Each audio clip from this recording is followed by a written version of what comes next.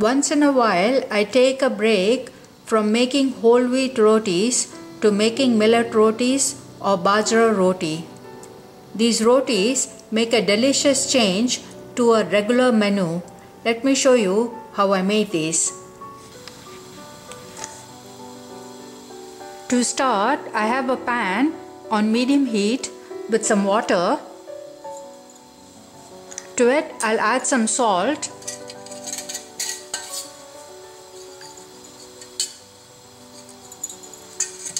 Two teaspoons of oil.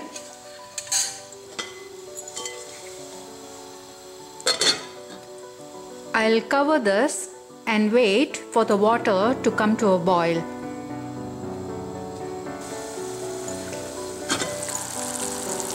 When the water has come to a boil, I'll reduce the temperature. Add the millet flour. Mix it.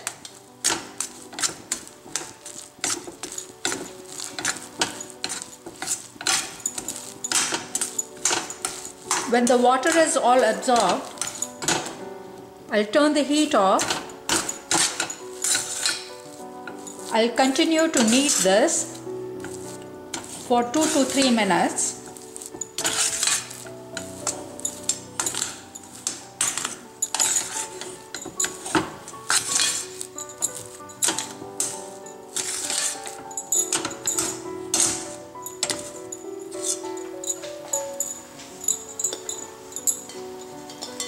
After which I'll cover this and let this cool, cool enough to touch after which I'll start making the rotis.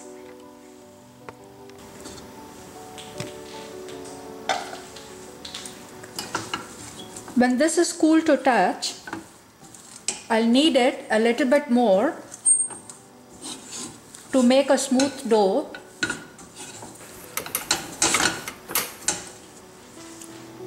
Next step, I'll roll the rotis Next step, I'll roll the rotis.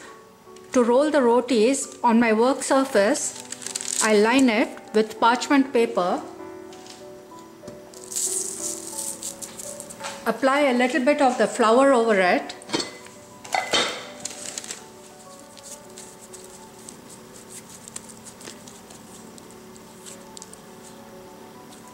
Take a little bit of the dough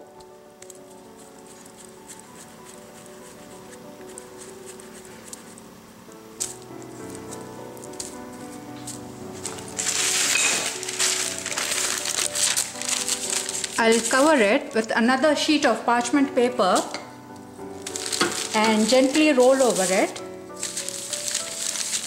I use this method because it helps me make them thinner and prevents breakage.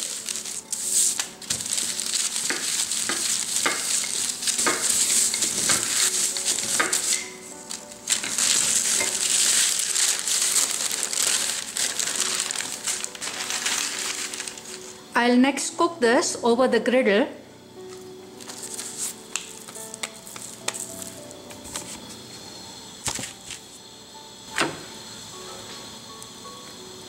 I'll let this cook until I see bubbles, at which point I'll turn it over and let it cook on the other side. When I see bubbles on the other side, I'll finish the cooking on open flame.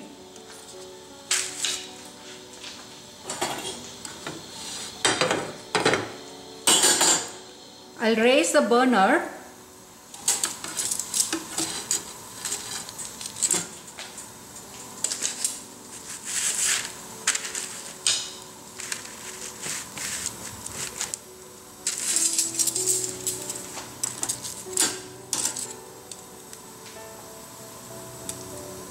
I let this cook until I see brown spots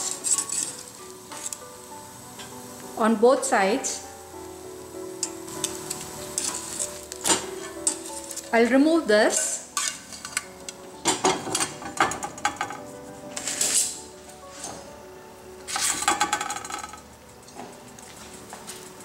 Apply some clarified butter or ghee and it is ready to serve.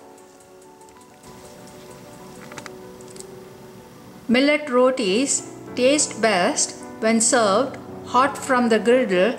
They taste best with eggplant curry, but you can serve it with any vegetable, dal, or yogurt. These delicious rotis are really easy to make. I hope you'll try it. Good food. That was easy cooking. This is Mallika. Please post your comments. I'd love to hear from you. Thank you for watching.